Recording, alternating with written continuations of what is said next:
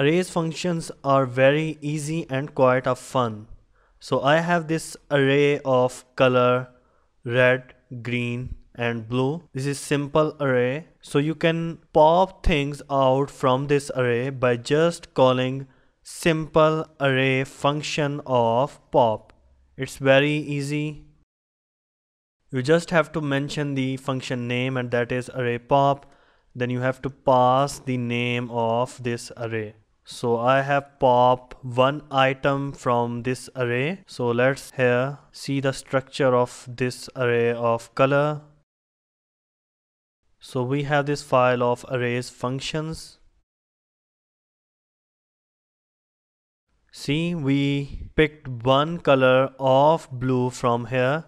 So if I add one more time this function of array pop then you will see this green will also going to be popped from this array.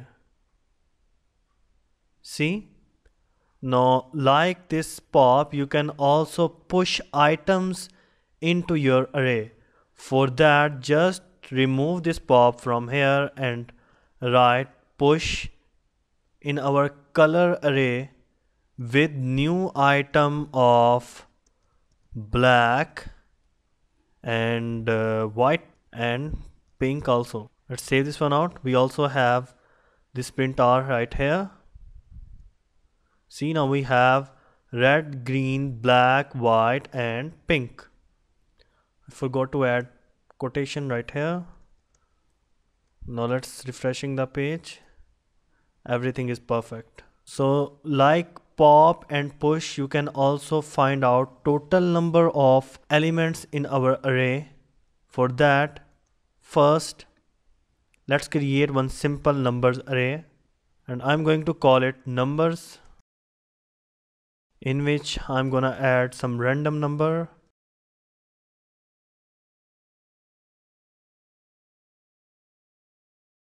So I have added some numbers in our array. Now you can count the total number of this array by just calling some simple function of count. Count what? Count total numbers in our array. Now let's see. See now we have total nine numbers in our array. You can find maximum and minimum value as well.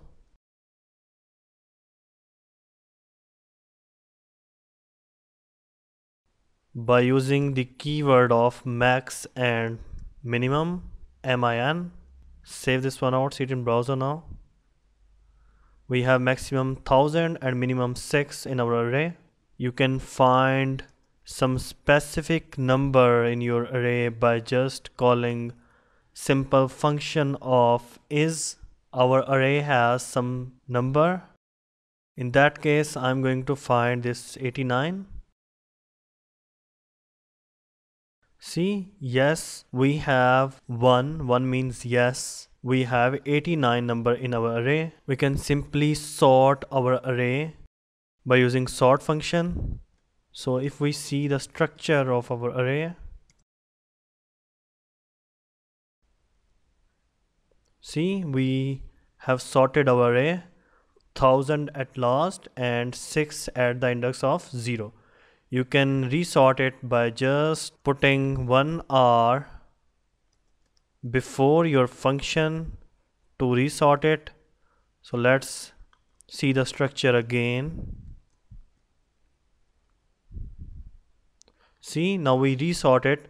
Now it's starting from 1000 and ending at 6 now in this lecture there are two more functions are left. One is implode function and other one is explode function. First we are going to do implode function. What is implode function? Actually implode function is used to return a string from the elements of an array. So if we have array of this quote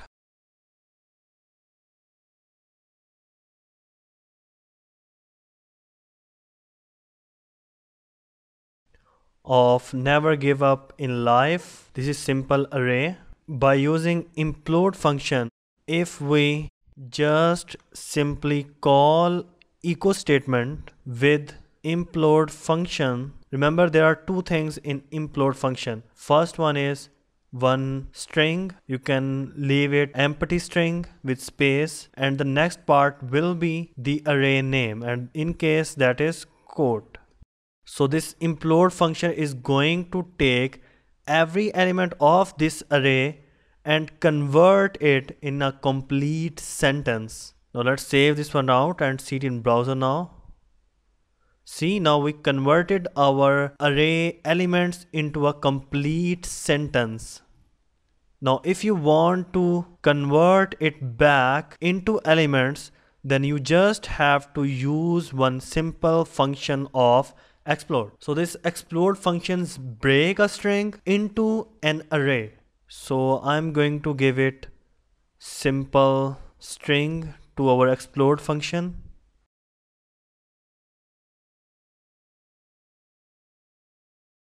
so I give it this simple string to this variable of uh, quote now by using explode right here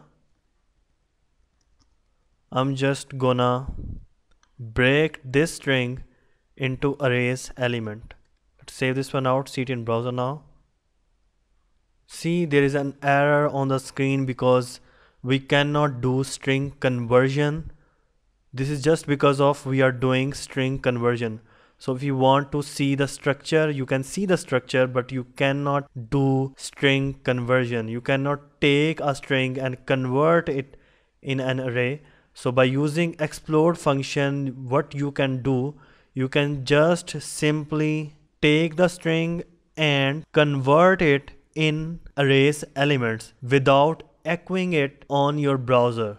So instead of echo, you can use print dash r and inside this I'm gonna put our explode function so let's remove it from here and put it right after it our print r function of explode let's save this one out and see it in browser now.